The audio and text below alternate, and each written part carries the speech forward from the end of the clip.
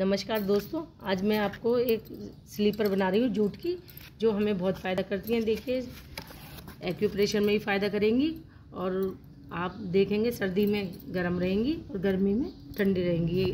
आप इस तरीके से अपनी चप्पल का निशान लगाकर अपने नाप की और फिर इस तरीके से कैंची से इसको काट लें और काटने के बाद जूट को रख के आप दोनों चप्पल इस जूट को भी इसी साइज़ से काट लें।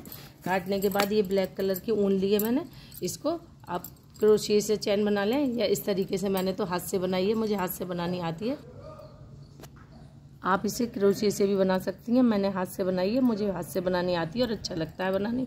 आप मोटी ऊन को ऐसे ही भी सिल सकती हैं, यदि क्रोशिया भी नहीं चलाना आता है, या फिर आप कोई भी डिज़ाइन, जो भी आप अपने मन से डालने चाहेंगे, मैं, मैंने ये चैन बनाई है, मुझे बहुत अच्छा लगता है हाथ से चैन बनाना, देख। इस तरीके से चैन बनाकर क्रोशिए से, हाथ से, या जैसे भी जो भी आप डिज़ाइन लगाना चाहते हैं बना लें और चप्पल की किनारी पर उसको इस तरीके से सुई से स्टिच करते जाएँ। देखिए फ्रेंड, हमारी चप्पल कुछ इस तरीके से तैयार हो जाएँगी और बिल्कुल यूनिक भी लगेंगी। आप इसने किचन में पहने, रूम में पहने, बाहर भी जा सकते हैं। और ये मैंने सात नंबर की, देखिए, बनाई है। आप भी अपने साइज़ से ही बनाएँ और बताएँ कैसी बनी है।